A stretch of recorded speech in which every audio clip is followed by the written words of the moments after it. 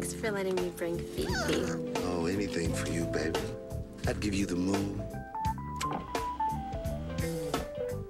the stars, and the ultimate love potion.